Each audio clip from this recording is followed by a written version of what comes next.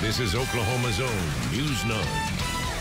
This week has seen a double dose of major MAPS 4 proposals with the arena at the fairgrounds and a sports complex near downtown. And tonight we are learning more about a possible soccer stadium and what it could mean in Oklahoma City. News 9's Carl Torp joins us from near Bricktown. We are just south of Harkins Theater, south of the new boulevard, and supporters say that this is more than just a proposed sports complex, but it's a district that would be a connector between downtown and South Oklahoma City. They may be just fancy pictures, but many influential supporters are wanting to see these renderings become real. We see it as the global game, and it's the next opportunity for us to be on the global stage. We spoke to Energy FC owner Bob Funk Jr. about what could come here south of Bricktown and north of I 40. The main component of the proposal is a multi purpose sports complex that could cost more than $80 million and would accommodate football, rugby, and lacrosse.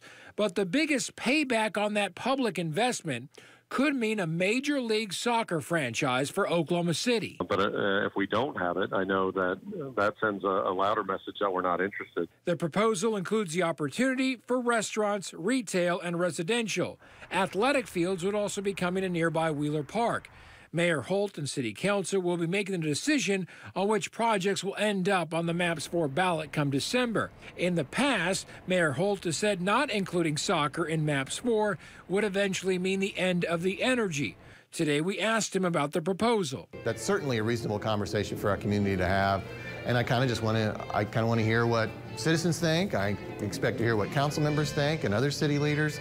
And, and you know, we'll just see how it goes over the, over the spring and summer. Meanwhile, the Energy says it's ready to take the next step in professional sports. We need to acknowledge that soccer is the, you know, the next up and coming major sport and kind of get ahead of the curve. Carl Torp, Oklahoma's own News 9.